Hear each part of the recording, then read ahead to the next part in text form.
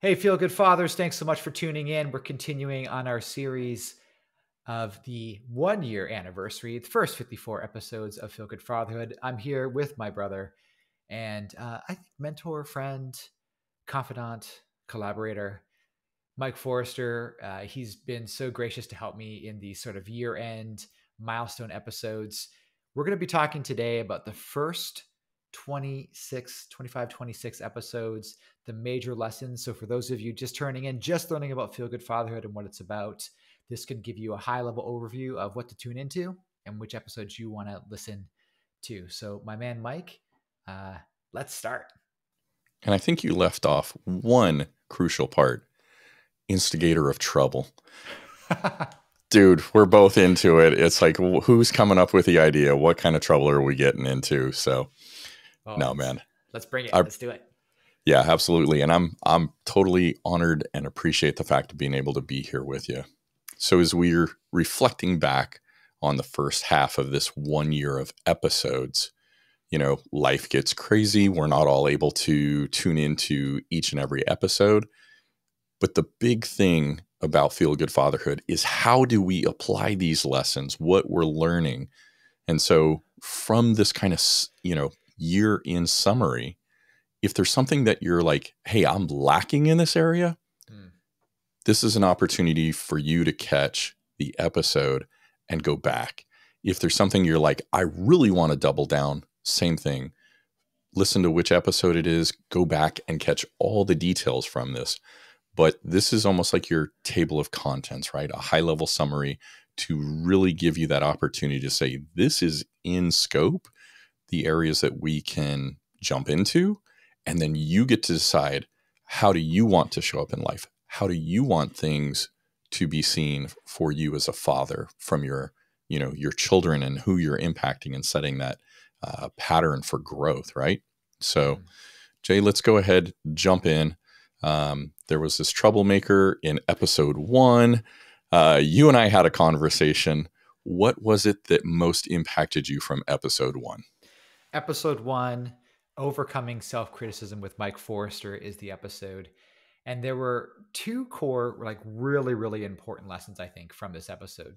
And the first was having that acknowledgement of who does your family need protection from?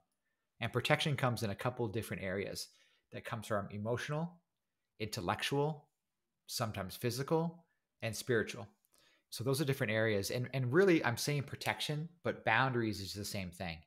And what I learned from interviewing this this crazy guy was understanding and evaluating the people that are in your life and who actually is privileged to contribute to your family.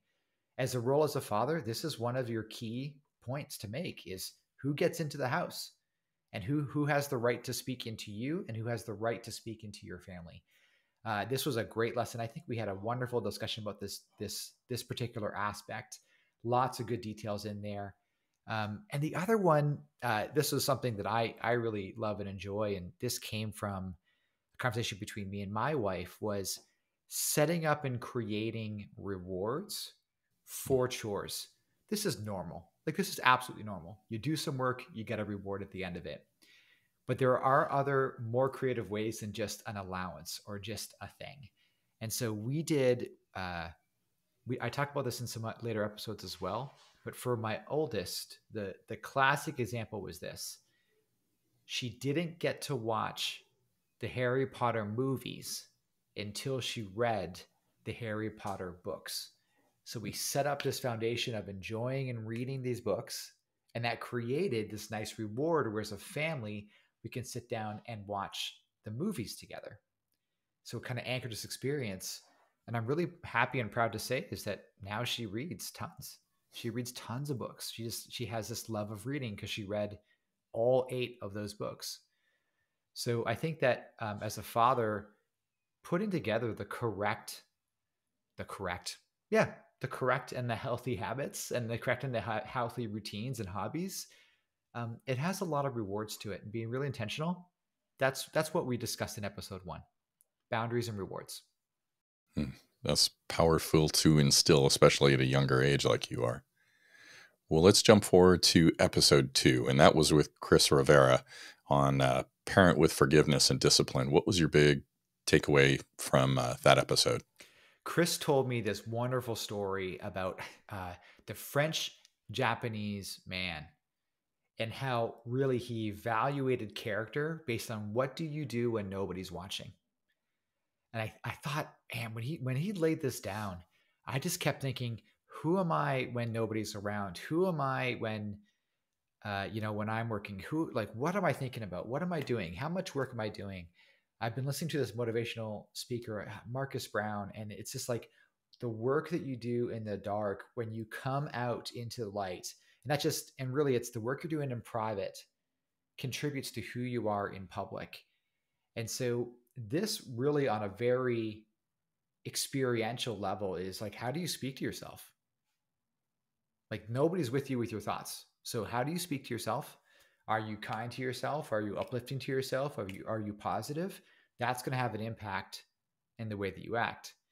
Are you disciplined well spoken and kind in your house, and then disciplined, well spoken and kind outside of your house, there's a consistency of action that I learned from Chris mm-hmm. right from that parable of the French and Japanese man.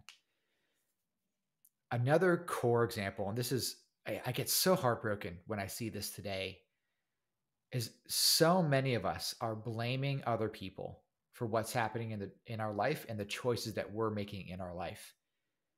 And he was just very direct. He just said, stop blaming your parents for what you're doing in your house.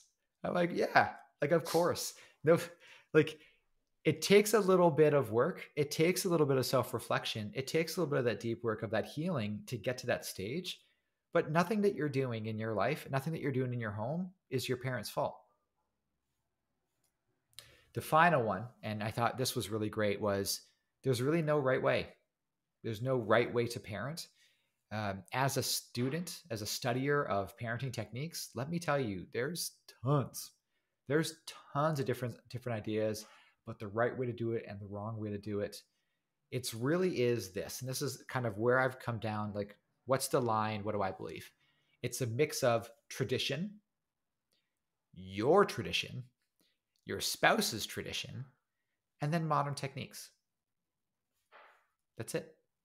That's that's what parenting is. So there's no right way, wrong way, and like that. There's just a mix of what is traditional in general, and that should probably only be like 10%. Most of it should come from what are your traditions, what are your spouse's traditions, what traditions do you want to create? And then, I mean, if you're really into it and you really care about this this role, learning a little bit, learning about how kids develop, learning how the brain develops, learning how to communicate effectively. There's just these extra modern approaches and extra modern skills and that's really what we got from Chris. Hmm, I love that. Uh, episode three was with Martin Hewlett about anger. Oh man. Well, oh man. yeah, Martin's Martin's powerful.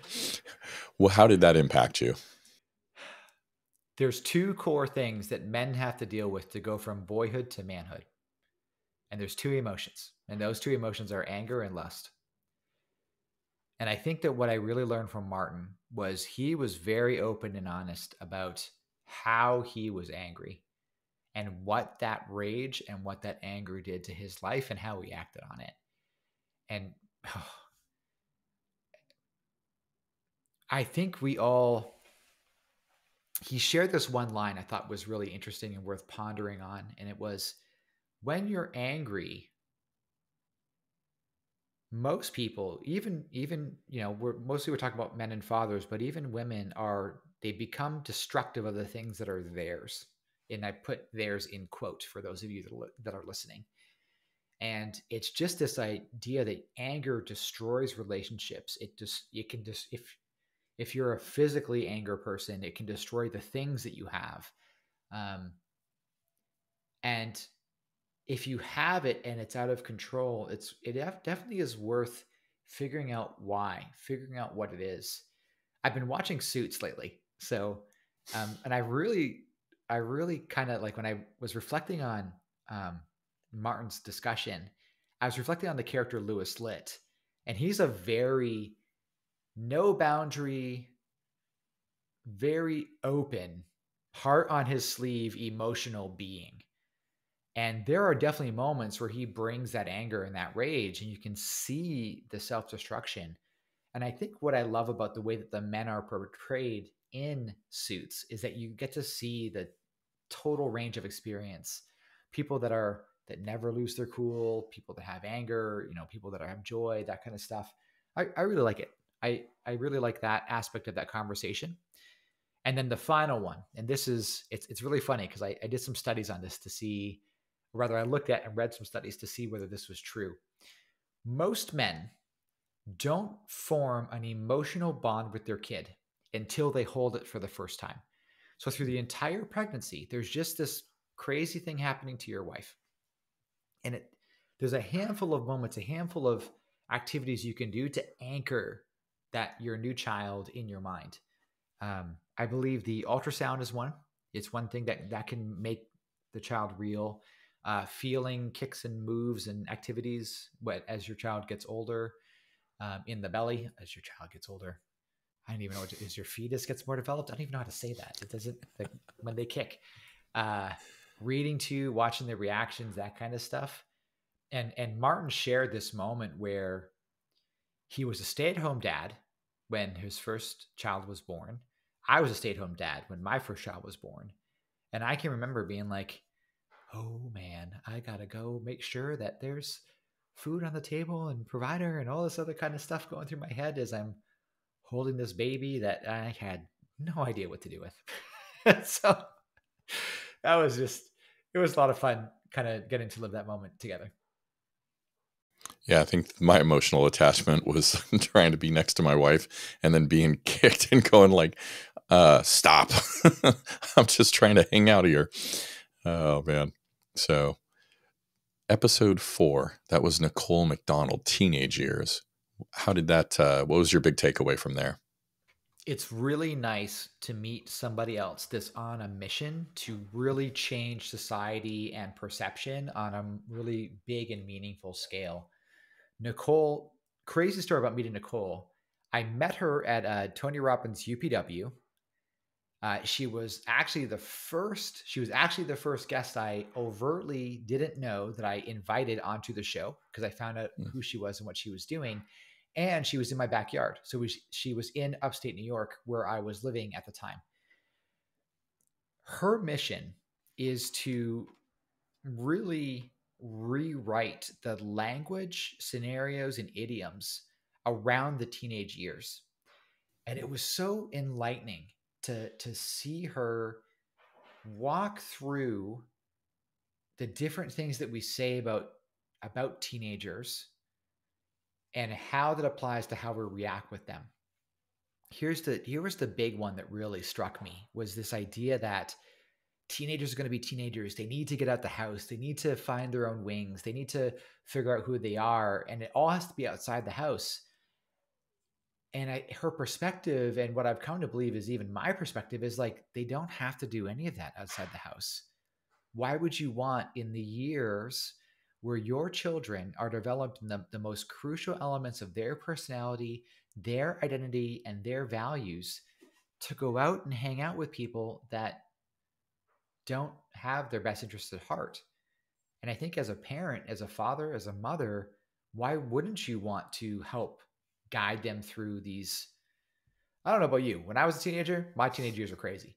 Uh, you know, and, and my parents did a pretty good job of, I think, of being with me and walking alongside me as I was kind of figuring out who I was and what my body was doing. And um, I don't know. I just I, I I think it's weird that we have these these concepts that they got to get out and they got to go be a young adult and all this kind of stuff when it's like I think they really need I think teenagers really need more mentorship and I think they need more guidance than we provide for them. Hmm. And uh, when you reflect on episode five, Josh Cantrell needs impact, um, how you show up. What was like your action, kind of looking and reflecting on on that? How did it uh, move you forward? There are certain things we want from our young kids, and the way that we treat our young kids is going to impact how they see us and what they do and this is normal this is this is pretty common knowledge but josh really taught me about he taught me two core things. And the first the first core thing was making sure your kids know that they can ask you for help and being receptive and listening when they are asking for help. This manifests in so many different ways. And um, I really think this leans into the how are you showing up? Are you present? Are you listening?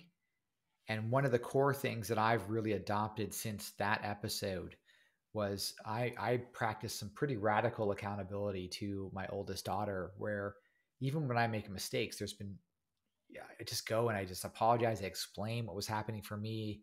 I explain, hey, I should have done better. This is what, you know, this is what was going on. Even yesterday, she came to me and she, uh, we were preparing family as, uh, we were preparing dinner as a family and I was kind of wrapping up my workday, and so I was trying to make sure that all the admin things were done. And she said, "Hey, come on out to the kitchen because I want you to do this one thing with me." And I, I said, "Okay, I'll be there in like five or ten minutes because I'm wrapping this thing up because I'm just like, hey, I want my daughter to know what I'm doing. I want her to know that work has a priority and that there's boundaries around those time things." Well, when I came out, what she wanted done and it doesn't matter if she was impatient or not, but she wanted that thing completed. And so she went to mom to get it done. And so I kind of came out, I saw that the thing that she wanted my help with was complete. And so I just went to her and I said, Hey, when you asked, what I really should have done was said, All right, I have some admin things, but I'm going to come help you with the thing you wanted. Then I'm going to go back to work and wrap up my task. And so in that one moment, like just in that quick moment, I didn't listen to her. I didn't help her when she was asking me for help or even for my attention. And so I said, Hey, this is what happened. This is what I was doing because I wanted her to know that I was at work. And I said, Hey, I'm going to change this behavior next time. So when you ask if I can get up, I'm going to help you with that thing, but I'm probably going to have to go back to work so that she understands that situation and she can kind of build a mental model of her. So that was that. I and I really think this is very often overlooked for for parents of being responsive and being open when your kids are asking for something from you. I guess there were three things. The second thing, really, from Josh was really cultivating that core relationship with your wife. And this is a feel good fatherhood thing. Like, we face our wife. That's it. Like, support your wife, face your wife, face your spouse, however, you know, whatever side you're on. Just lean in. And they are the primary relationship that you have, period. Um, so that was that, making sure that your kids know that and making sure that everybody else around you knows that that you're now a family man and you're married and finally and this is i, I really like this one this was a good lesson this is the good one was that um, most of the time i think as parents we think we have to protect our kids from what's going on i think and so when a crisis or or something changes some sort of dynamic changes I think we tend to want to protect our kids. And I think it really does a disservice to them about how resilient they can be, how much learning and understanding they can. Now, I'm not saying, I'm not saying like drop adult level information to them. But for Josh, they, you know, they found out that one of the sons had autism and they brought that into the house and they explained it at an age appropriate way how to how that navigated and how that showed up and manifested as his personality. So there was a crisis, there was a change, there was something that was changing in the dynamic of the family, and the family was enrolled in it. And I think that was just really powerful of hey, get your kids involved. It's their house too. They got to navigate stuff. Why hide it? Let's go. Yeah, presenting it where it's age appropriate, keeping them involved just makes everything more cohesive. So, as we uh, move over to episode six with Danny Bader, principles, how are you showing up? Hmm. What was uh, your big takeaway on that one? Danny Bader is an interesting fellow. So, his his core story is that he had this crazy accident and died for like um, two minutes or something like that. He was like he was hmm. actually dead for like two and a half minutes. Had this life changing experience, and it really fundamentally changed the way that he kind of moved through life and um, that was really neat. He's got. Uh, we actually met because I introduced myself as Jay, which is my name, and he was like, "Oh, you're a character in a book I wrote. So he's he writes he's a serial writer. So he writes these parables. He's like, "Oh, you're this character," and he like handed me the book. it's like awesome. so, uh, but um, what he really took as, and we spent the first part of the conversation was really just talking about love as a guiding principle, and I think it's it's um, I have the these experiences with these nebulous words. Like love is kind of a nebu- nebulous word because it's describing an emotion. And then it's like fun. Like fun is a nebulous word. Like you know when you're having fun, but you don't know when you're not having fun. But you couldn't really describe fun meaningfully. Um, this is a uh, a discussion that I learned about the fun perspective from making video games. There's tons of different kinds of fun, right? There's construction, uh, expression, achievement, uh, um, uh, um, winning, like you're a, a competition kind of fun. So there's different kinds of like emotions that you feel there. But love, uh, his thing was like, what can you do to make love your guiding principle, your guiding emotion, and everything? And so I here it's less of a I have less reaction to it. I think I more have a question for the feel good fathers, which is just how does love show up for you and how do you experience love? That's one thing. Uh, Danny also has, he went through being a father and now he's an empty nester. And so his kids live out of the house. That was super interesting talking to him about the difference between being the authority figure, guider, teacher, parent into more friend, mentor, counselor role. Hmm and that was really interesting kind of watching that stage and knowing that um, i have 10 years between my oldest and my youngest daughter. And so i'm going to have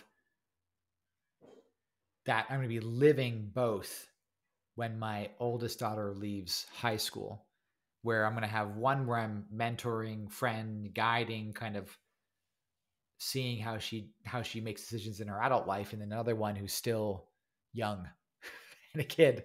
And so it's going to be interesting when that happens in a, in about, you know, 10 years or so. So, um, and then finally, and this is kind of, it's been this theme with, with a lot of fathers on the show, which is what are your, what are your values? What are your, um, your principles, your mottos as a father? And I think this kind of, we talked about traditions as with, with the Chris Rivera episode I think this is one of those areas where a more traditional spousal unit might want the father to sort of lead the values of the house. And I think a more modern understanding would be that both spouses come together to create the values of the home. That's what we did. So in my home, we came up with the values together. And, but I definitely think that as a father, you should have an understanding of your family in the same way that mom should have an understanding of her family. So I think that's enough on, on that episode. Uh, lots of good discussion there about the stages of parenthood and values and, and love. Really, really solid to listen to. Yeah, Danny is like the embodiment of love. So it's it's definitely a healthy perspective on who we can be and how we can show up that may not be something we're familiar with uh, as you reflect back on episode seven with Jack Gibson, generational wealth, what comes to mind from that? This was the genesis of one of the newest ideas for Feel Good Fatherhood, which is this core idea that as a father, one of your big responsibilities is to pass on the skills and knowledge to the next generation. This is sort of um, built into anthropological studies uh, Dr. Anna Machin's work talks a bit about this that in the past, while mom was taking care of the young ones or being pregnant, that there wasn't a lot of, you know, if we're thinking about the context outside of modern medicine, she wasn't as mobile. She had to really kind of focus on keeping baby alive or babies alive. And so dad's responsibility was well he was the mobile one so he had to go hunter gather provide and he had to then teach and enroll and jack spent a lot of time in our discussion talking about teaching his sons about what he's good at, which is business, finances, and creating wealth. And I thought, what a great lesson. I mean, number one, there's a handful of feel good fathers that I interview that specifically talk about making money and finances and growing growing your income and then creating wealth. Uh, and I and I think you should listen to them. Feel good father. so there's that piece. Uh, but this but the core principle of passing the lessons on to your sons, I, I thought that was really eye opening. Um, and I think even then for your kids, I I really started to practice well what could I teach my daughter and my, you know, then at that time, uh, did I have one? Was she? I'm not sure. But uh, what could I teach my daughter about my life and the skills I had? And then the other one, and I think in today's society, this is this is a really challenging concept to to grasp. On social media and in networking and stuff like that, you see the end result. So in any given moment, when you're looking at anybody, you're not looking at the mountains that they've climbed. You're not looking at the businesses that they've founded. You're not looking at their failures. You're looking at sort of the finished product in the moment. Nobody's a finished product, but in that particular moment, it's the finished product.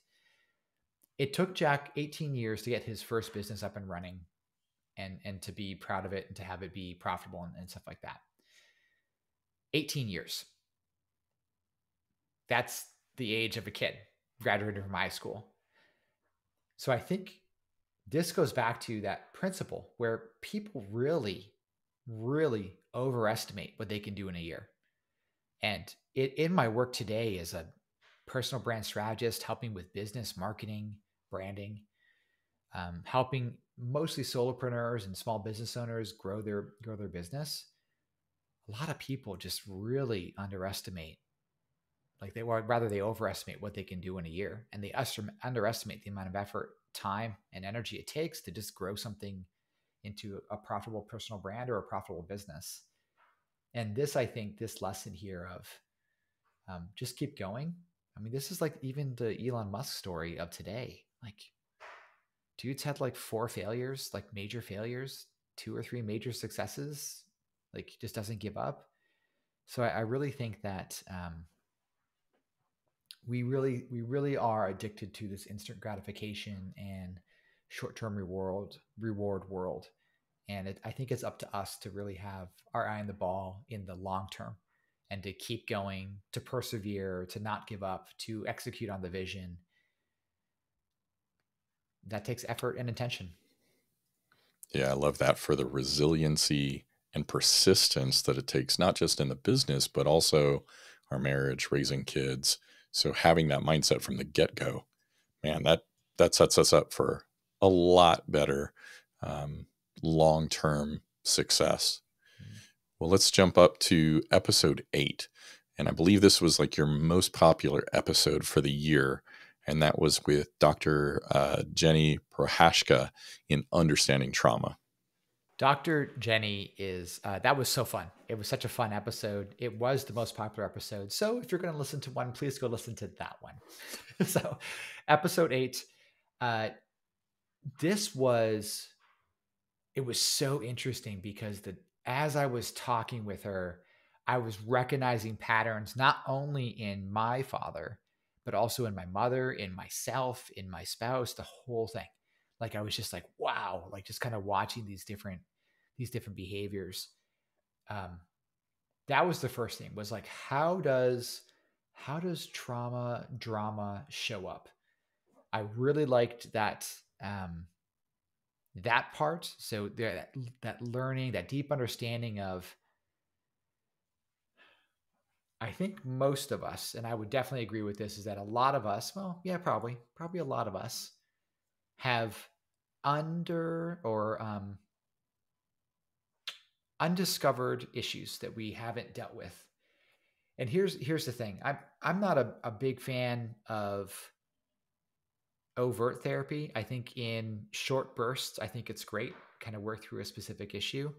Um, I found that without a really, really good therapist, that you're doing a lot of reliving the past and that's not helping you develop into the future um, and that in particular is a very male model for development um, uh, I don't really want to get into that too much, but there's a lot of there's actually just a lot of study by psychologists on this factor that um, the traditional counseling slash therapy model is more for women. It's a women focused um, occupation uh, because that it, and specifically has to do with the model of one person sitting across from another person and discussing their issues. All of that being said, if you're in a high stress thing or you got trauma, you got to go deal with it in some way, shape, or form. And um, I do think, especially for her and her expertise, that in the first responder world, so first responder, military, security forces, that kind of stuff, I you need to go talk to somebody to to handle what you're doing to transition back to civilian life. So there's that piece. The other piece I really love, and this is I think I think this one just instinctually the moment she said it, I was like, that's how I made it. So I had one of my first jobs, I was in a a tech-based call center. And if you've ever worked in a call center, uh, you kind of get yelled at all day long. and and so uh, I was I was there, and I, I, remember I had set up my life such that every day of the week, including Saturday and Sunday, like every single day, there was an extracurricular extracurricular activity that I did. So there was some sort of hobby or some sort of thing I was doing.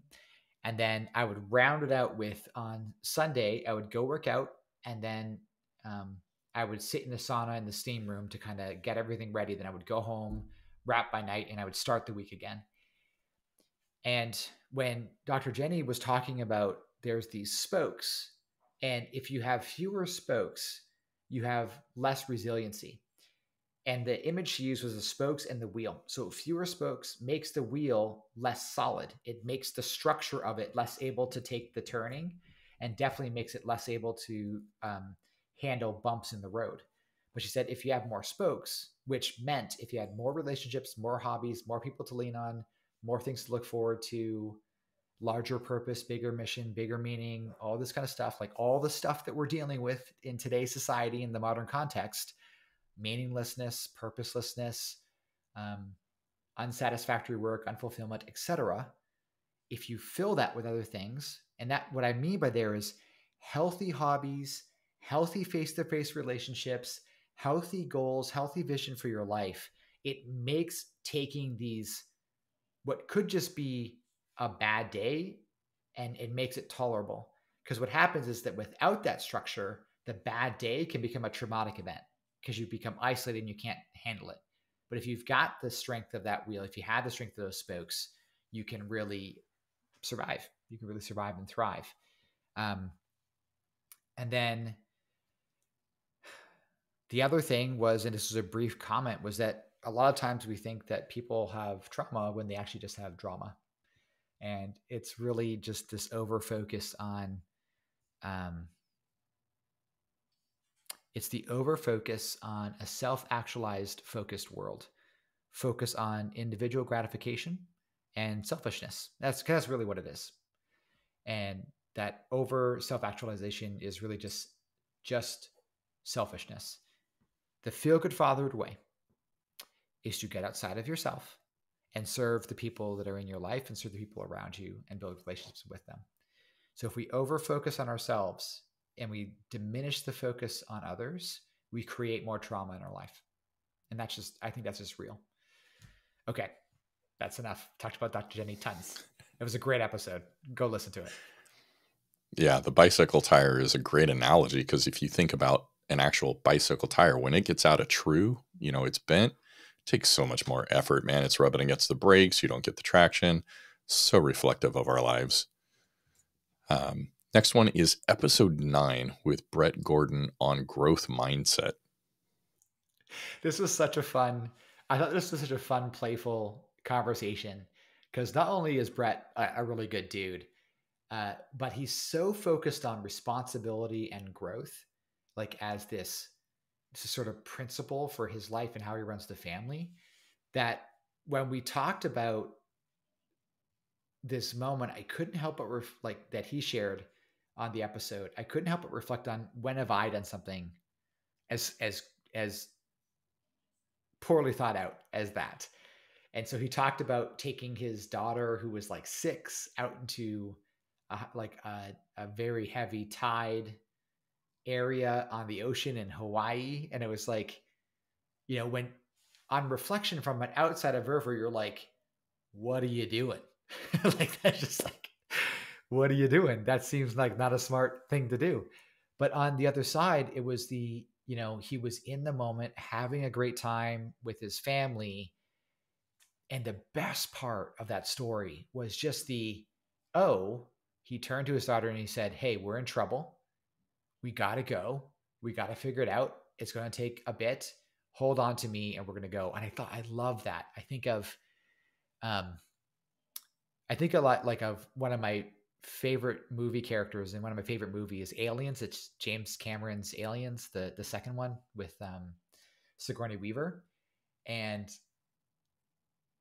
when she rescues Newt at the end, because I'm I'm not saying spoilers because it's like a 1980s movie. So if you haven't seen it, I don't even know what to say to you. Uh, it's one of the best action movies of all time. Um,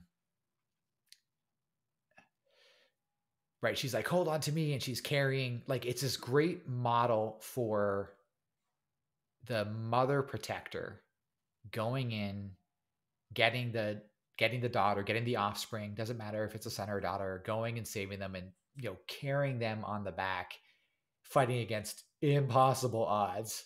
You know, like I think the only other the other character I see from the '80s that's a lot like that is like Linda Hamilton, uh, her Sarah Connor in the Terminator hmm. series, uh, which if you haven't drawn the line yet, they're both James Cameron movies.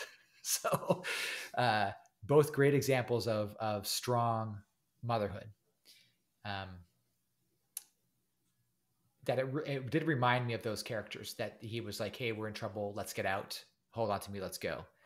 Um, the other part that I loved about Brett's story, being a techie myself, being a a tech dad, having been in video games, being very focused on sort of the more modern knowledge work computer world, was just get outside, just get outside and play in nature and get dirty and roll around and and just get outside of the these little monitors. They're uh, that there's a lot of balance and a lot of really good things that can come from that piece.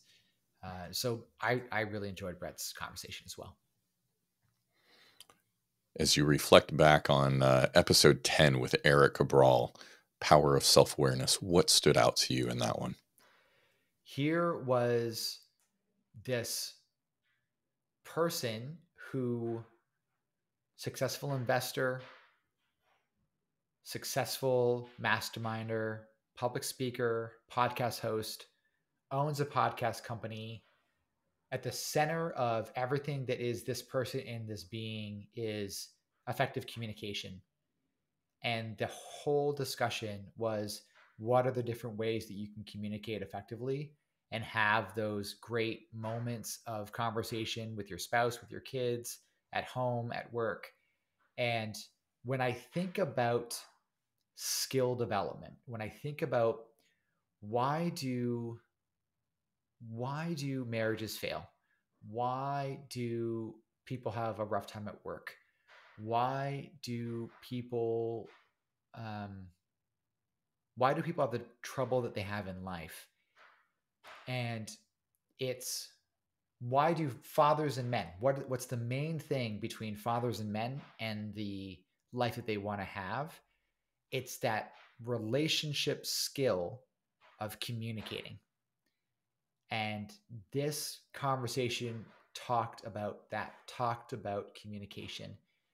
What do we want? What do we need? When are we feeling vulnerable? When is it appropriate to be powerful? Because for some reason we don't like men being powerful. It's weird. Uh, when is it appropriate to be powerful? When is it? When is what is respectful communication? What is when do you have to be an authority? When do you submit? Um, everything, just everything about communication and self awareness. Um, and not only that, Eric is a fun guy, so that was a good conversation. Yeah, it's a powerful episode. And I mean, just like you talked about the communication, Eric has made multiple transitions, and that communication has been a useful skill in all of those changes and directions at home and his careers. So, yeah, absolutely powerful episode.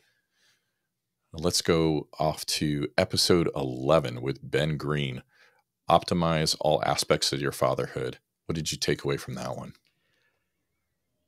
In the past couple of decades, we've had a major transformation in the way that we work and the expectations on men and work and providing and that. And not all men have transitioned out of that. And not all men and not all even heirs of the world have transitioned away from manufacturing, away from physical labor, away from an older model into the new model. I'm not saying that manufacturing physical labor and all that kind of stuff is not valuable. What I'm saying is that we need less of it because we have other advances. So we need more other things.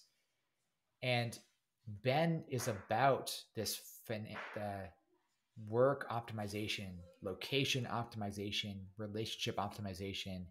And he's got this whole brand around the whole thing. And really, when we're talking about setting boundaries and optimizing and making choices that are higher level macro choices of optimization, what's the impact that it has down the line? And so that was the first thing. And and this is the other we're never going to get away from this. At least I there's because we don't evolve backwards. So we were talking earlier about Dr. Anna Machin, the father goes out, hunts and provides. The expectation as a father is that you provide. That's just the expectation. That's one of the expectation that's on you. Another one is protect. So in with Ben Green, the conversation really is there's there's really two ways to do that. You've got to well, there's three. You're either independently wealthy, and if you happen to be and you've inherited that, great, you're providing, wonderful, good for you. Um, you might be an employee, great, wonderful, go get after it. You can optimize those aspects. You can get the you can get a better job. You can climb the ladder. Do what you need to do. Uh, the whole idea not is isn't so much like that you want to climb the ladder. It's that you want to make more. You want to make more because once you hit your prime years, income slows down unless you go into business for yourself, which is number three. Optimizing for entrepreneurship, your own business, that kind of stuff, consulting. And so, uh, my family, we come from one so my stepfather had his own business. My mom was a very successful successful employee, and both have now graduated into the consultant self work sort of world. So they basically doubled their income doing the same thing, by just by not being interior to the to the company. So there's lots of ways to optimize these discussions, and I'll tell you what: if you just YouTube or just search I mean, I don't know if you listen to this and YouTube's not a thing. I don't know what's happened, but there's a couple of search engines where you can find out how to increase your income. Financial Samurai is a great thing. It's a great way. It's a great newsletter to learn about. He's a great brand. Um, tons of things on YouTube. Tons of different influencers just talk about getting raises, starting your business, doing that kind of stuff. You just got to optimize it, Dad. Sorry, it's just a thing. The another lesson that we learned about was setting expectations with your spouse. I think this is really because there's setting expectations for your spouse and there's allowing her expectations to be set as well. So there's a, a mutual enrollment. And he shared something. He said, you know, the expectation here was that both parties work in the house. So everybody contributes financially to the home. And I was like, oh, I mean, whatever your choice is, I, I'm not a judge of it. I have plenty of friends with with stay at home moms, uh, plenty of friends that are stay at home dads just a whole it's you know just whatever works for you whatever floats your boat. But having that discussion and making sure that you're entering the marriage with that set in stone like with that understanding and that discussion that's really valuable. And finally as you're increasing your income and as you're you're moving up the socioeconomic ladder there's a lot of characters a lot of popular wisdom that says something like you can always know the character of a person by how they treat somebody that has little value to them. So this is that idea that you take somebody out to the restaurant and you just kind of watch how they treat, how do they interact with the wait staff, right? Ben talks a lot about hey, when you've he's he's reached a certain level of business and income where he brings in people to the home to help with household chores. And so what he's teaching his daughters is like you need to value the value they're bringing to you. It's not just an expense. This is a person they are creating space for you. And he had a lot of uh, basically a lot of gratitude around that role and making sure his daughters grew up with that as well. That's a super insightful, um, just perspective and thing to watch out for. All right. Next, we've got episode 12 with Bob Guillaumet, creating safe spaces for more. When you think back on that, what comes to mind? So, Bob was out there doing his thing, and he met his wife like years before, just kind of and I think they they dated briefly, and there was this power of, um, I, called this serendipity that he was out there, he met her, nothing really happened. I think it was like five years later or something like that. They came back and met again, um, just again through some sort of happenstance moment, and found love, and then got um, ended up getting married out of it. I thought that was a really interesting lesson less so for the father, like for the feel good father who's listening, more so for those fathers with older kids that are trying to find romance in their life. We absolutely need to steer our kids away from using technology to meet people and build relationships. Tinder is not the way. And if you don't know that today, you need to do the research it is unhealthy. Um, and it doesn't matter which version of it you're using, it's not healthy. It doesn't create the kind of relationships that you want for your kids. And I, I tell this like when I was doing confidence coaching with with young men, you know, in college and leaving college, I always said, you got to have a cheers place. You got to get out there. You don't have to go out and drink. Your high value women are not, you're not going to meet your high value woman in the club. You're going to meet your high value woman when you go out in your hobby. You have some sort of shared affinity, which means you just have a shared experience, something you both care about, and you learn about each other in that way. So I did dancing, I did art, art galleries, um, did some role playing. Had like those are kind of the two big things for me. Was just going out there living life, doing dance exchanges, which is basically just traveling to different cities to dance in, in their cities, and then going to different art galleries. And those were the two big things where I built a lot of my social network, and I still care about them today. So, so the serendipity of finding love just means that you're out there living and you're going to meet people. That's what it is. So encourage not only yourself as a feel good father to go out there and have a hobby and do something out in the world, but then also, um, or or even that, because I don't want to criticize other activities. If you're if you're a game player, you I just just find a way to engage your family in the games. Don't play the most men that play games are going to play your AAA titles, which is your classic male titles. They're usually violent in some capacity and they're usually single player. So what you, you got to do is just find other kinds of games that you can share with your family. So that just just a little bit of effort and and, and doing it that way. So and I brought that up because it's what's your hobby, what's your social network, go out there and do it. The final piece, and this one, this one kind of blew my mind because it doesn't, it's not discussed a lot. And he said, uh, he talked about the power of three for men getting together. So, and it was the core idea of when you're getting together, make sure there's at least three men in the group because it just creates a, a more balanced dynamic in the interaction and it makes it just a little bit easier for every and all parties to get together and and, and do their thing. Um, I, I would definitely go back and listen to that episode if friendship is something that you care about if learning about having more male friends is something that you care about. I would definitely do this um, and listen to that episode with bob. That sounds awesome. So, when you think back on episode 13 uh, with Dr. Alex Tam, Create Unforgettable Experiences, what were the things that uh, you know you took away and and took action on? Uh, this was so fun. So, Dr. Alex Tam was uh you, know we started with this crazy story about him being in Alaska and these bears and like being like 10 foot from a bear like with his family and I was like good lord this is crazy his philosophy in life is generosity and his philosophy of not only the generosity of his family and making sure that his large extended family has great experiences and he learned that at a at a young age from I think it was like his uncle his uncle taught him that, but then also extending that into his work family and saying, I, as a business owner, want the people in my employ to thrive in their life and to have crazy experiences. And what's really interesting is that uh, for one of the first times in my professional life, uh, you know, here at Brand Builders Group, as a strategist, I've got these two founders that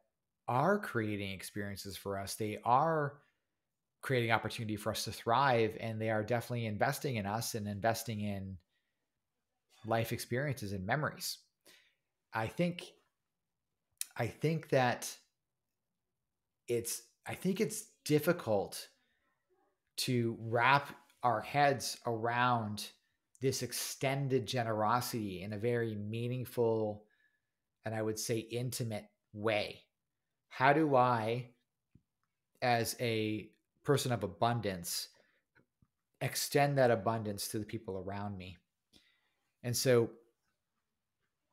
that's really what I learned from from Dr. Tam. That was it was really an interesting perspective. This next one for me is a great complement to episode 12 and that's going to be episode 14 with um, Adam Kasic's foundational traits of becoming a man and a father. The number one thing, if you're in the shit, is knowing that somebody's got your back. And so when I was making video games, we tend to have good relationships with each other because we're crunching, we're building, you know, we're accomplishing something that has a lot of adversity together. And so the relationships you build under duress, um, they tend to last a long time. And one of the things that helped, one of the bad sides of that is that when you're under duress or in a high stress environment, is that um, it's sometimes difficult to explain to somebody else what your life looks like. So it's it's that phenomena where entrepreneurs tend to like hanging out with other entrepreneurs because they don't have to explain the business in the same way that you know when i was making video games i didn't really enjoy talking about being a video game developer with people that weren't because I, I would become a local celebrity and i'd have to answer questions all night about what it was like or or help their kid that wants to get into the industry or whatever and and believe me i've heard those uh, dozens, if not hundreds of times. Can you talk to my such and such to get in? Sure, let's do it. Um, and that's how the conversations would generally go. Uh, but for you know, for Adam in particular, him sharing that there was this mentor, having somebody that like really meaningfully believes in you and is pouring into you and challenging you and making sure that you're improving, that was really this critical, um, critical moment for him. And I, I really enjoyed listening to him describe this this world and describe this this relationship that he had. This the second layer to that was part of i think what his mentor taught him and that now he teaches is just what is character? What is it? What is character? And um, uh, character is something that we define. There are general principles of character. I don't want to get into them here today because uh, it's better for you to go listen to Adam describe. But um, it's something that you develop, it's something that you have, it's something that you foster and improve on. And I think it's something that men should absolutely prioritize. So true. what like impacted your heart? Um, just really left an impression on you from episode 15 with Adam Labar, lessons on mind shifting and creating impact?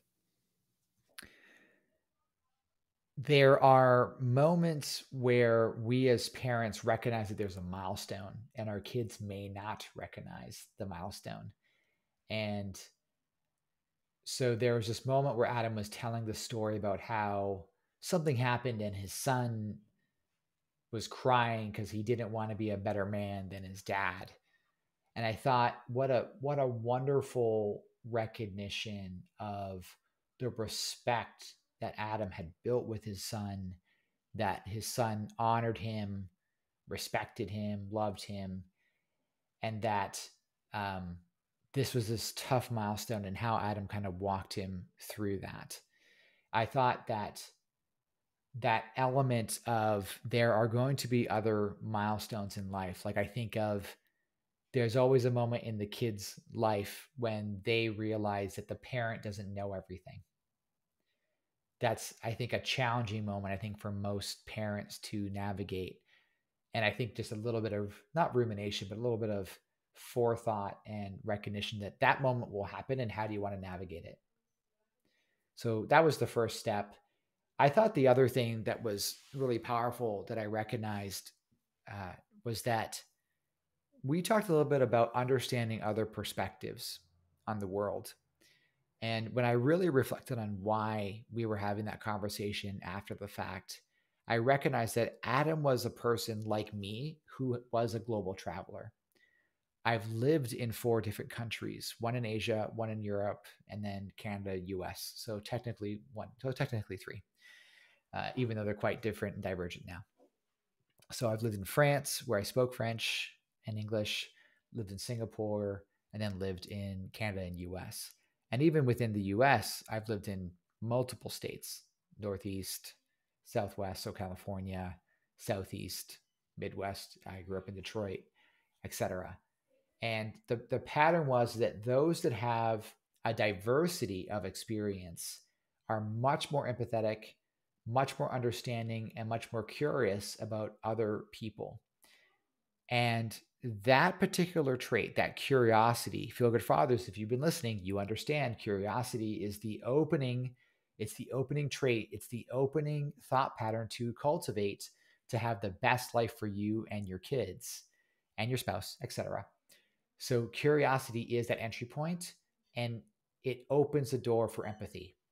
And so if you haven't traveled, go travel. If you can't travel, drive around. If you, the other thing too is that the world is at your fingertips. You can explore other places and other cultures by consuming media, watching YouTube videos, cultivating other perspectives. I have a friend who I met um, at Podcast Movement. Uh, Mike and I met at Podcast Movement this year, and he was at the forefront of thought leadership. So he works with a lot of philosophers, a lot of thought leaders. He has a lot of big names signed. And I remember just saying I was having a lot of trouble, that it's very easy for me to find more liberal and progressive newsletters and, and ideas. Uh, and it's a bit harder for me to find center right and right perspectives because I want to have I want to have more of an encompassing perspective on the world, and because I happen to live in the South, and so I'm I have a more conservative people around me, and I've mostly lived in more liberal, traditionally blue areas, and I want to understand and cultivate more of an understanding of the people around me, and that was really from that perspective, and um, so cultivate unique perspectives. Go go see the world, uh, go learn about other cultures, and it'll really have um, a much a very dramatic impact on your empathy your compassion and your curiosity yeah and it also gives us that opportunity to see that we're not always right we we can see it from somebody else's eyes and i think like in watching you you're able to when like when we're at podcast movement right we're in other environments you ask those questions that bring out that excitement, those things that people are passionate about, because you've had that uh, alternate perspective, right? From multiple facets. What's the big impressions that you um, took away from um, episode 16 with Allison Collins, Take Care of Your Health? Boy, oh boy. so uh, it's no secret that as men, we don't like medical, the medical establishment. We don't like going to the doctor. And um, heart disease is on the rise. It's the number of killer. It's the number one killer in the world, um, especially in the West, of both men and women. Uh, and just being aware and acknowledging of it. So uh, my grandpa has had two heart attacks. My biological father died of a heart attack in his 50s. And so um, this is something that as a feel good father, you need to be aware of. You have to understand about your health because if you don't, you're placing more burden on your family. I'll just say that one more time because I think it's really critical because as men, we don't want to be a burden. If you don't know about health and you don't know about your health and you don't prioritize it, you will place more of a burden on your family. It's just a fact. So you got to take care of it and you got to learn about it. And, and Allison outlines, I think we talked about your 20s, 30s, 40s, and 50s in the episode of like what are the key risk factors of each age group. On top of that, we we did actually spend a little bit of time on the the effects of sleep and it's pretty well known that sleep deprivation has a, a very dramatic impact on you um, but I think that it's it's challenging because as fathers, there there is that time period where you need to be aware and awake to take care of your kid, especially when they're young.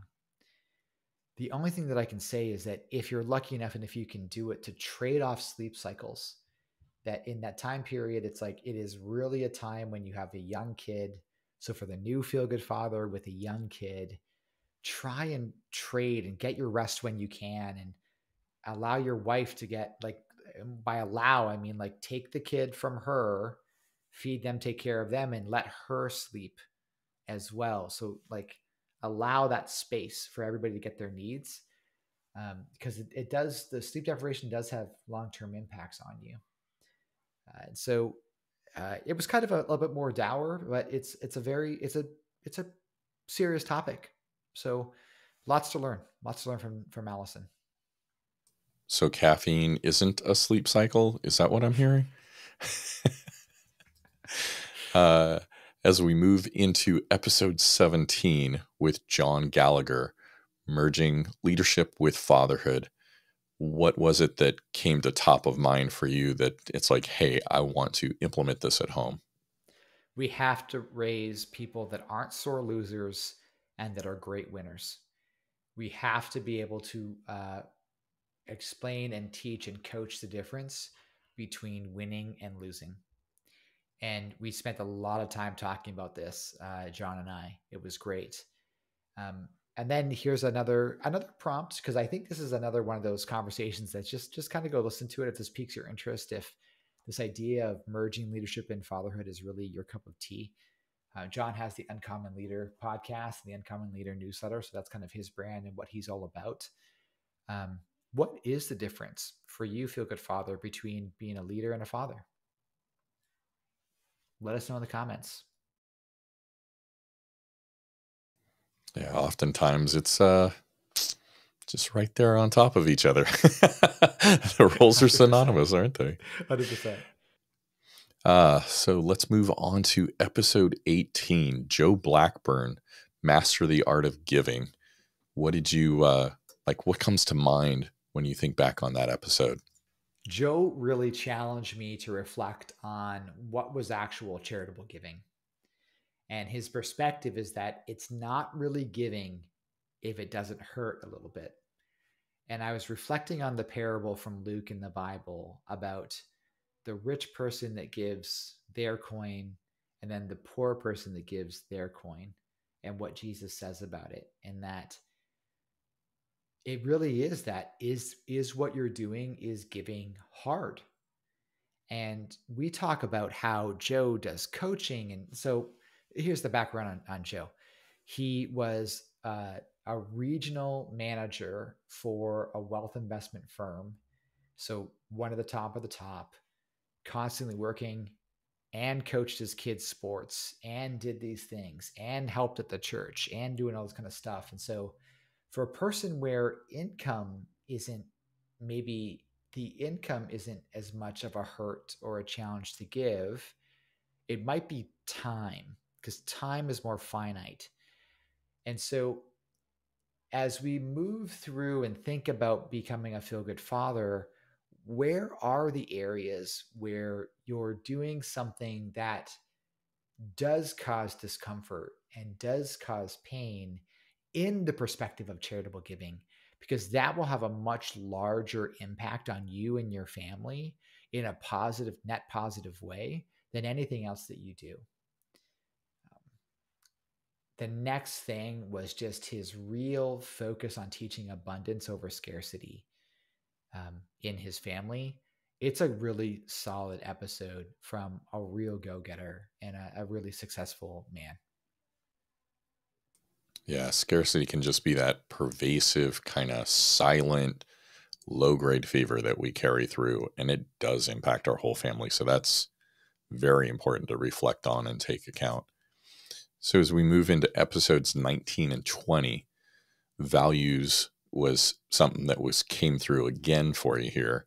So values with a baby and adjusting to your new role.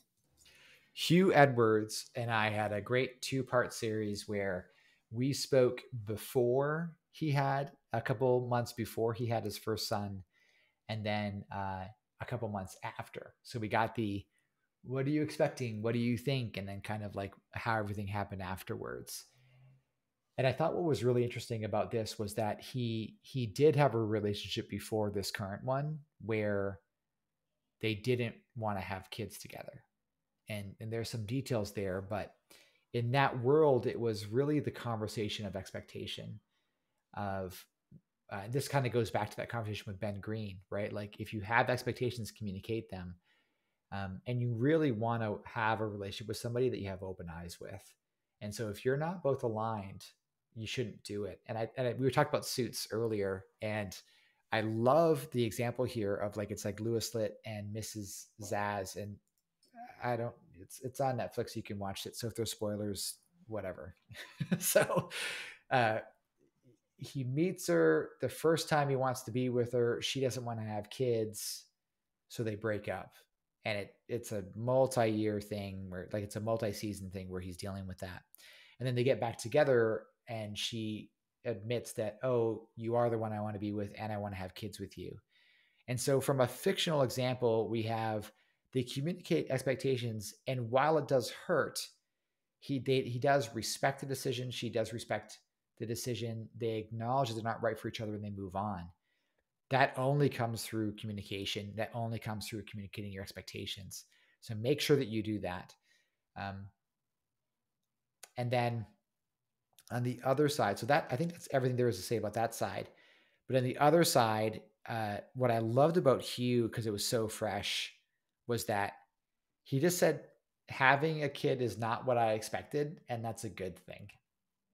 So I don't think I think that when you know if you're a young a young uh, new feel good father or you're a feel good father that's mentoring or supporting another father through it, uh, just I just find joy in the discovery and find joy in in in their experience because um, it's fun. It's fun to watch that development and change. Finally, from a skill perspective, you know, Hugh talks a lot about finding your values and finding what really drives and motivates you. And there's on one side, there's the what are you passionate about? What do you what do you enjoy? I think on the other side, which not a lot of people talk about, which is like, well, what pisses you off? Because that's also something that points you in the direction of your values. Uh, so that was a good conversation with Hugh. It's a two parter. Let me know what you think in the comments. So we've talked about a lot of timeless things this one is very timely because AI is becoming a bigger and bigger part of our everyday lives. You met in episode 21 with Jay Borgana, Chat GPT, Chat excuse me, Chat GPT, GPT-4, future and possibilities. What did you take away from that one? You know, being a fellow nerd and a dad. It's difficult to it's difficult to have magic in your life. It's difficult to um outside of some fictional worlds really experience something that's magical and we are as a person who grew up when the inter- internet was introduced uh, so i'm an 81 kid. So i was around i remember without the internet and then i was young enough to be in the early days of like the aol i think i was like mainly aol online and then sierra online dial-up modems. Um, if you want an understanding of what that that life looks like, go watch the movie Hackers with Angelina Jolie. Um, it's a great it's a great geeky little like super topical hyper niche uh, show. You have to forgive that it is a um, it is a movie in its time, so you just have to tolerate some of the things. Just like Bill and Ted's Excellent Adventure, fantastic movie, kind of a '90s movie, and every once in a while we we get to see something that really does fundamentally change the world in a magical way and generative ai really is as important to society as the internet was. So you can create and, and have your teach your children about this magical world and create storybooks and have it interact with them and have conversation with them um, and be creative. And it's going to be something that they're going to use. And so it's worth your while to learn how to use it as well um, the the example here is really looking at uh, the incredibles 2 movie with mr incredible there's a there's a moment where i think it's i think it's i always get it wrong jack jack is the is the baby and then I think it's Dax is the fast runner. so Dax comes home and he's got the math homework or something like that. And Mr. Incredible learned it differently. And so they uh, they had this fight and they can't do it or sends him to bed or something like that. He stays up all night, learns a new method, and then tries to teach it and then teaches it to his son, and then his son succeeds. It's kind of one of those moments where this is that time where just spend a, spend a little bit of time learning a little bit about it get some prompts and teach it to your kids because because they will use technology it is the it it is the skill to use in the same way that programming was 10 to 15 years ago so learning how to code was the unlock for high value work today it's going to be ai um, because you can ask the ai to code for you so like and i've done this in the past so you still need to learn some basics of technology, but this is a really crazy time. Um, and we are so quickly moving, uh, you know, into this really symbiotic technology and human experience world where I mean, if if you know, let, us suppose that there's some global um, EMP and we lose all power, so computers stop working for the rest of existence. Uh, think of like um, I forget. I was gonna say the Wheel of Time. That's not the right one. It's not the right movie. That's a it's a it's a good book series, but it's not what I'm thinking of. Um, Time Machine. The Time Machine. That's the one. So in the modern take of the Time Machine, uh, it's got a. I'm thinking about because it's got Orlando Jones as the talking computer thing. Um, uh, they lose all technology effectively. They just they just lose all technology in in the future, and uh, amongst other things that happen. But uh, uh, that's not happening anytime soon. So uh, ChatGPT is something worth learning, and it doesn't matter. It doesn't matter if it's ChatGPT. It doesn't matter if it's Anthropic's Claude. It doesn't matter if it's whatever version it is that you want to do. Get to know a little bit about generative art. There's now generative sound and music. There's generative text. There's going to be generative movies. In the future, you won't watch The Wheel of Time. Oh, sorry, you won't watch a Lord of the Rings. What you'll end up doing is you'll turn on your device and it'll generate and create a version of the of the Lord of the Rings for you, for your experience. And so that shared experience idea uh, is is kind of going away. I'm going too futurist. It's not not too valuable. Learn about the tech, teach it to your kids. There, there we go. Learn about the tech, teach it to your kids. I, it, it, seems to me I have a lot to say on this, so we'll, we'll I'll have another episode about uh, technology. We'll we'll keep it easy for for now, right? Yes. So with uh, episode twenty two, Jerry Dugan, uh, fathers as head of household. Jerry talks a lot about leadership and culture. What did you take away from this episode? Uh, he's also a mutual friend, a mutual friend of ours. And um, so with Jerry, I love his story of the pink wallet.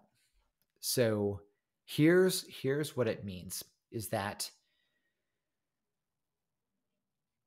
you as a feel good father should be proud of your kids. And you should know that there's nothing that they're doing that should make you not proud of them. So, what ended up happening was that I remember in his story that his daughter made him a pink wallet and he carried around the pink wallet with him. It was like a pink duct tape wallet thing. And he carried it around and then he got some got some guff from some dude or like a group of dudes on it when he had to take it out.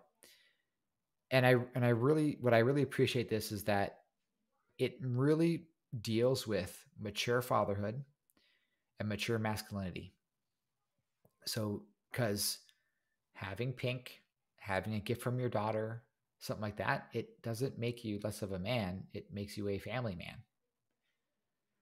And I think from that perspective, um, acknowledging the change in the world and and really I, I think for me just it, it identifies the people that are just really immature in their identity.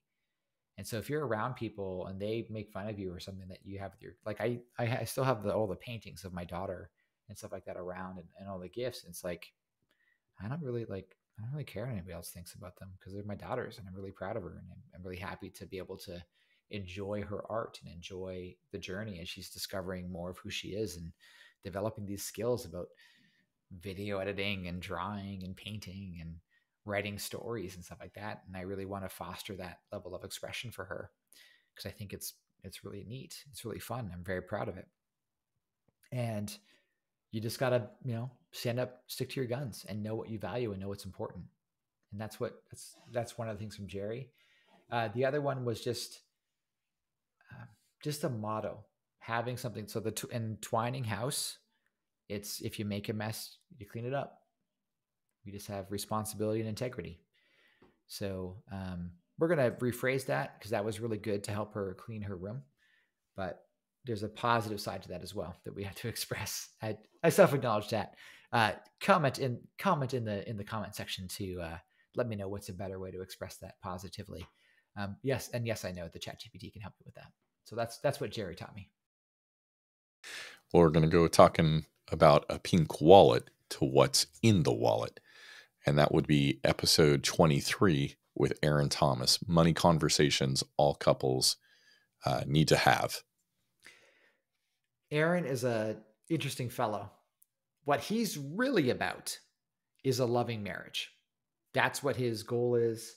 That's what he wants to create the number one issue in all marriages is money money disagreements money management whatever it happens to be. It's it's it can destroy marriages it can destroy you it can heal ma- marriages it can mend you stuff like that. Uh, but money is a challenge for most people.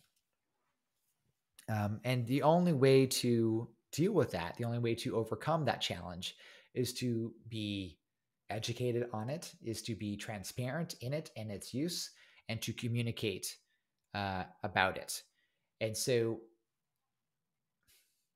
prenups, according to Hollywood, are a terrible thing.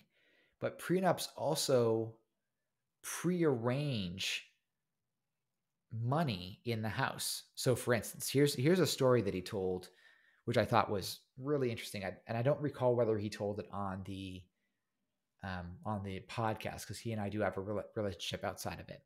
And he talked about how there was one, a group of people that he knew, a couple, where one grossly overperformed financially the other.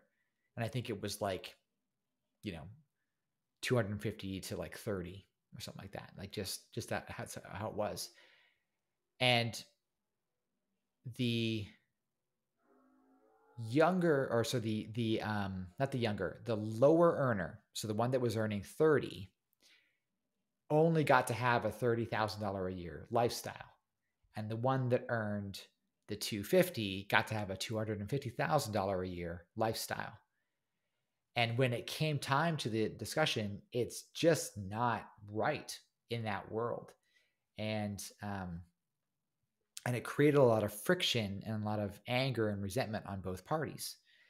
And so the prenup, basically, part of the prenup in that situation would presuppose the organization of money.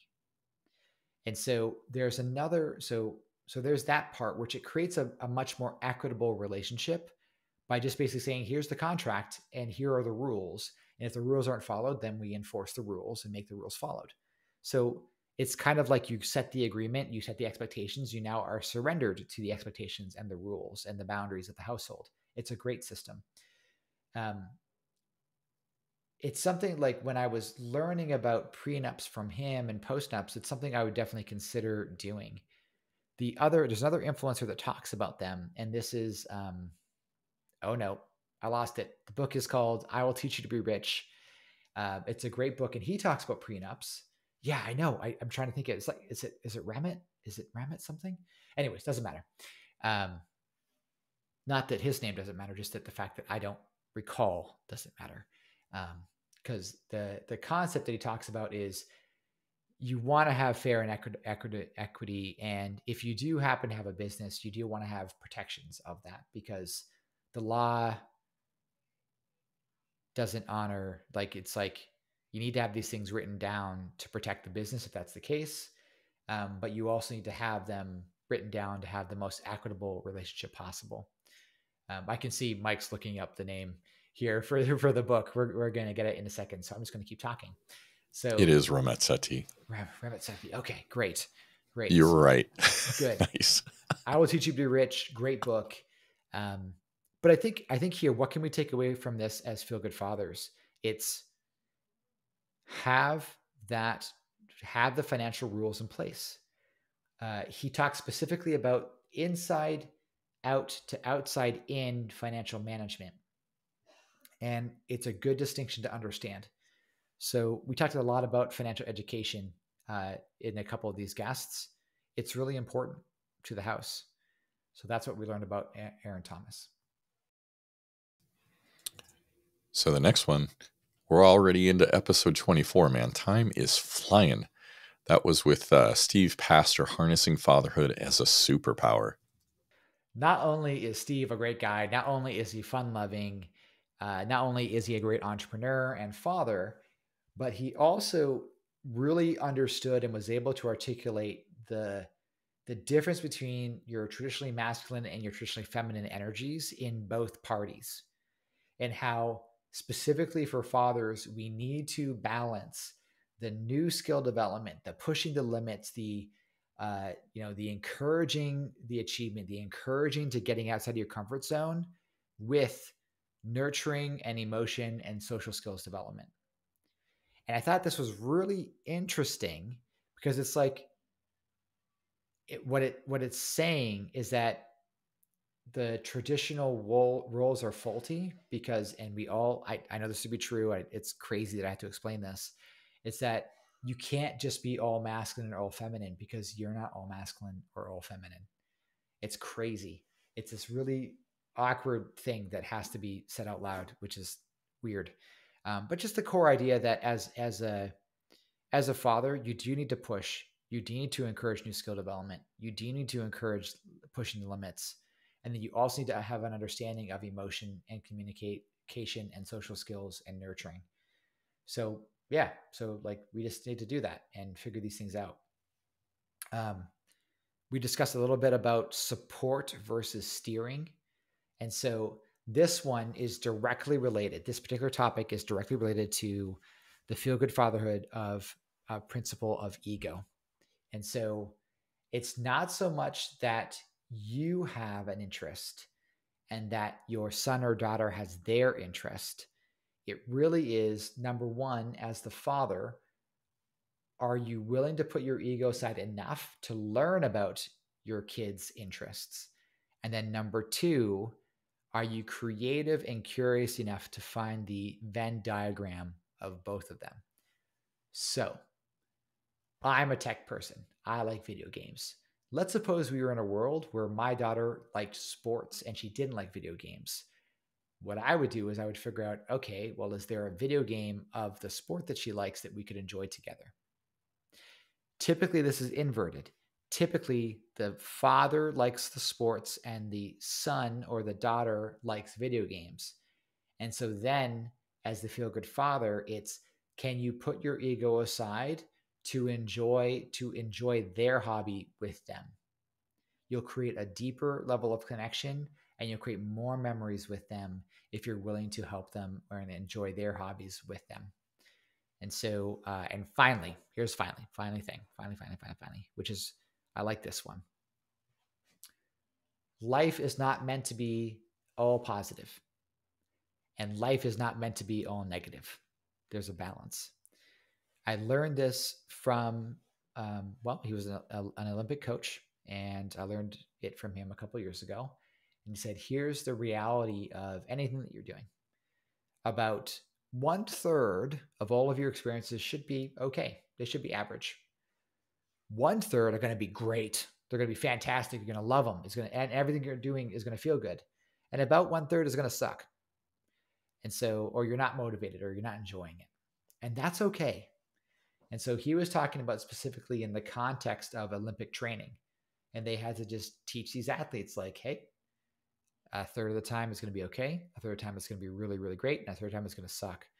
And I think just as a philosophy, just understanding that, just accepting the moment for what it is and moving through it, that's pretty meaningful.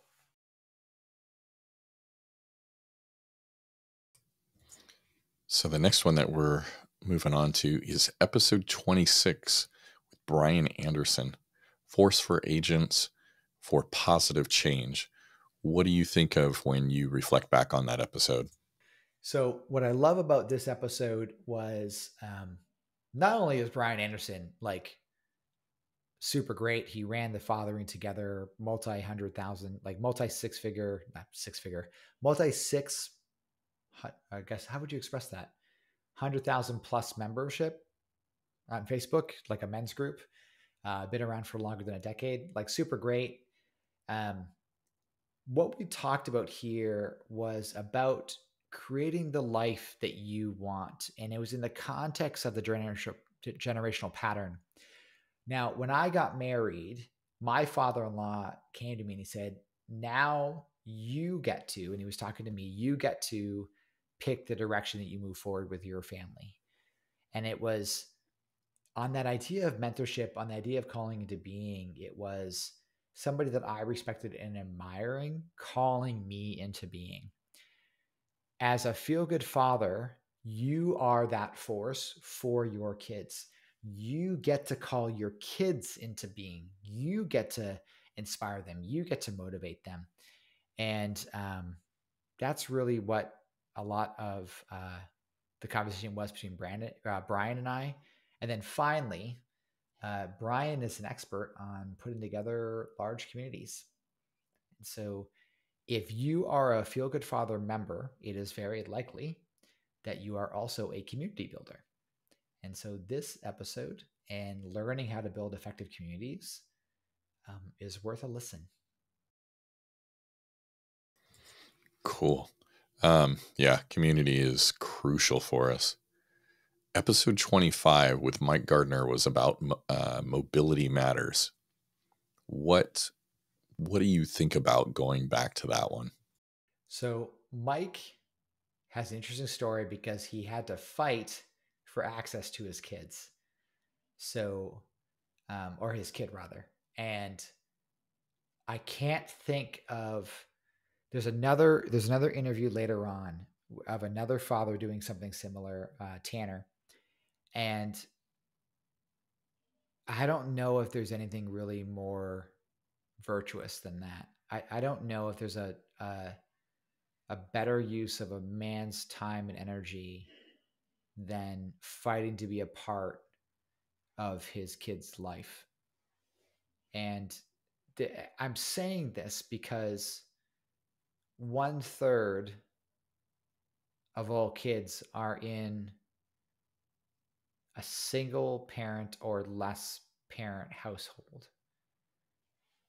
And when you think about the number of kids, it's staggering the number of kids that are that. So, roughly, I think it's like 20 to 30%. this is all napkin math, so please forgive me, world. Uh, 20 to 30% of the population of the US are kids. So, they're 18 or younger. So, if one third of them, and the population of the US is roughly 300 million, then that means that we're looking at something like 60 to 90 million kids. I think just rough rough nap, napkin math. That um, as the total number of kids, and then so a third of them is easily easily 20 million. So that means there's 20 million kids that don't have a relationship with their father. That's that's a staggering societal number. And um, it's it's kind of dynamic and, and, where it is and how it works. And there's lots of discussion about what that number means. But um, you know mike is one of the one of them that was fighting for that access and i think you know, beside besides unhealthy people, because that's not what we focus on at Feel Good Father. We're talking about healthy people that are living a good life, that are responsible, positive, uplifting, trying to contribute in a meaningful way and, and growth oriented. That's a feel good father. That even if it's not all of them, it's some of them. And I think supporting and helping um, those men get involved with their kids' life, I think that's that's a really meaningful pursuit. So I don't know. I, I think for me, I just I just really honored Mike for sharing that part of his story. Um, I love his focus on mobility and longevity, right? So that's the second part, which is being able to use your body and being able to get up from the floor and you know I'm, I'm telling you having an infant now i've got a i got like a one year old I'm getting up, getting down off the floor and picking her up and bending over and doing this kind of stuff. And you know, it's when when she was born, I had a very different experience with myself than when my oldest was born. But when she was born, I had a very real encounter with my mortality. And had a very real encounter with how old I'm going to be as she ages and what's going to be my age as a demographic versus her age. And um, it it really made me address my priorities and clean clean myself up and have a longevity focused mind and really just for the second tier like with my oldest there was a lot of shedding of ego. There was a lot of healing there's a lot of emotional stability that I developed. And I think with my youngest, there's a lot of, am I even going to be around when she's an adult? And, uh, and so that kind of led me on the next phase of my own personal journey, which is prioritizing my health, eating well. Um, some of my colleagues now are just kind of like, I, I just, I have an accountability group when I work out. So I just text them and like, I, I worked out. I pushed it really hard. My body's sore, you know, and they're just kind of like, yeah, your body, you, there was like, what did, what did they say? Your 80 year old self will thank you. And I was like, hell yeah, he is. He, he's going to be so happy that I'm doing this and lift these weights. So, um, Mike, Mike was a big piece of that. And, um, yeah. Yeah, that's something that's important to consider is what are we looking for down the road? And also, like you shared, realizing that each child can come with a new reflection and something that we you know contemplate and work on so great points And this last one wraps up the six month mark um, of of this first year, right? So we're at episode 27 with Chris Felton, approval addiction. What was um, what was it that you worked through after this was done and and Chris had imparted his lessons with you? Oh man, this is uh this is such a um, Chris is such a great guy, and it was so interesting to hear that it was this dramatic underdevelopment of everything that we've been talking today communication, honesty, transparency, a hard skill, dramatic underdevelopment of this one skill that where he had a complete implosion in his life that was just like mind boggling to think about. And then it was this dramatic improvement in communication and vulnerability and asking for help and and expertise that created an explosion and he healed all of it. And it's just like it's so we love the underdog story. We love hearing about people that have suffered and then triumphed over that suffering and created something new because it gives us hope that we can improve and we can make it better. And I can't think of a better one word example of what that episode with Chris Felton is like than just simply hope. It's just hope that it can be better and hope that you can fix the things in your life that need fixing and hope that you can keep and grow the things that are going super great. So we've gone through a full six months of episodes. This is a wide amount of knowledge, topics, things to consider, work through in our own life. As you look back and somebody's jumping in at this point and going, okay, now what? what would be the first step that you would encourage somebody to take on going, okay, great, there's 27 episodes and we're going to reflect on 27 more. Where do I even start, Jay? Mm. That's a really good question. I was not prepared for that question. so uh, I think I think what I would advise any feel good fatherhood to adopt because it's so easy to just impart advice and say go do this thing and, and that's not I, I i think it's a default that defies positive experiences for everybody. So here here's what i would here's what i would say first and as the philosophy of a feel good father and this is what i would say is that um, everything that's happened to your life and everything that you're doing has led you to be where you are today. So there's no reason to have any sort of negative perspective on what's happened in the past. And so even if it was negative, it happened and it's helped form you. It's been a part of the journey. Um, the nicks and scratches are the kintsugi, kintsugi, sorry, of of your life. Kintsugi is the Japanese art of taking bowls and mending them with gold and creating a unique piece. Um, we all are that. We all are works in progress. We all are kaizen, continuous self development. Um, you might be learning this for the first time, but I love Japanese culture. I'm learning how to speak Japanese um, uh, as we speak. So, and I've done a lot of Japanese martial arts in my life. Uh, we haven't talked about that at all. It doesn't matter. So, first thing would be to take a look at your perspective because a lot of men come into this father thing, come into personal development thinking that there's something to fix.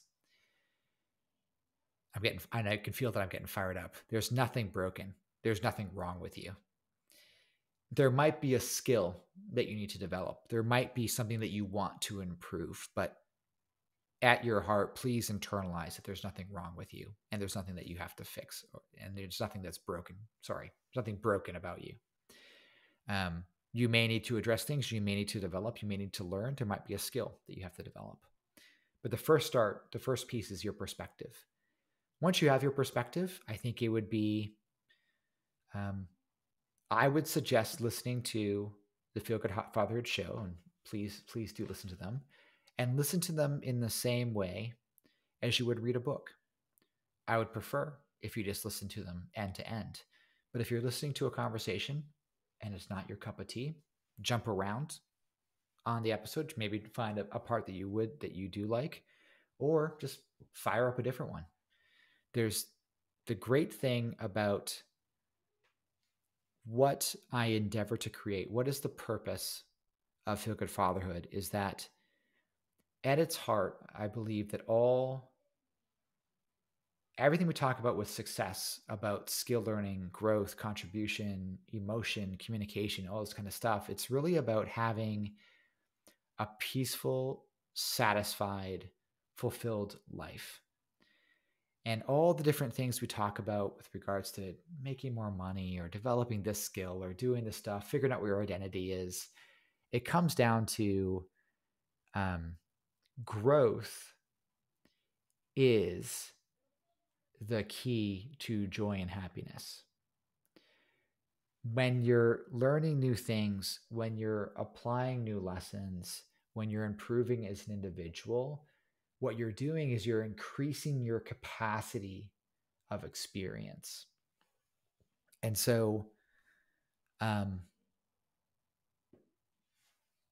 for me, the this whole feel good fatherhood podcast, these conversations are me going through uh, or rather not going through, but having these conversations with these guests uh, for the same thing that I want for you, the listener, is I'm doing everything I can to learn and grow.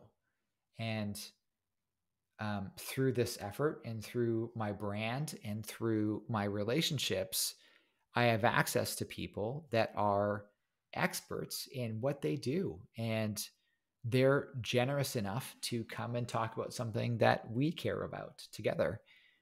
And so, from my perspective, I'm learning in the same way that you are, and I'm on the same path because I certainly don't know everything. Uh, my life is fundamentally different than it was 10 years ago.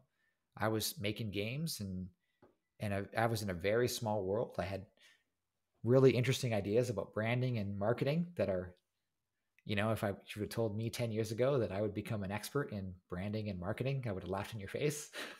so, because I was doing other things.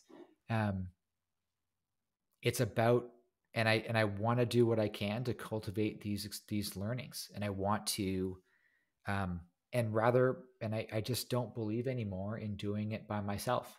I'd rather have people that I care about and that's you the listener. I care about your development. I care about you having a a peaceful interesting growth filled life where um, you're actively building your everyday experience your every year experience and all of your relationships in a positive way to create what you want in the same way that i'm building my day-to-day relationships and everyday activities and my business and my family and my relationship um, and knowing that i'm doing everything i can to make it as good as possible.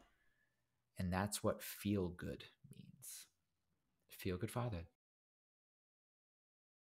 Yeah dude that's super helpful and gives us time to pause and see what our passion and our purpose is behind it right? What drives us for it well, Feel Good Fathers, I want to thank you for joining us in part one as we've gone through the first six months. We've covered a wide array of topics here. And Jay, thank you for reflecting back on these, revisiting the highlights from these different episodes, um, you know, episode one through 27. And so, Feel Good Fathers we want to invite you back for part two, where we'll go through 28 to 54. But we'd love to have you leave comments on which episode or what topics are of most interest to you um, from the ones we've covered here. So if you've listened to an episode or you're looking forward to listening to an episode that Jay's covered here, let us know. This is how we can together grow and become those those stronger fathers that allow us to lead our families and you know be more present and impactful in our lives and our families lives so thank you for joining us and taking a look back at the first six months of Feel Good Fatherhood. Thanks for joining us. We'll see you soon.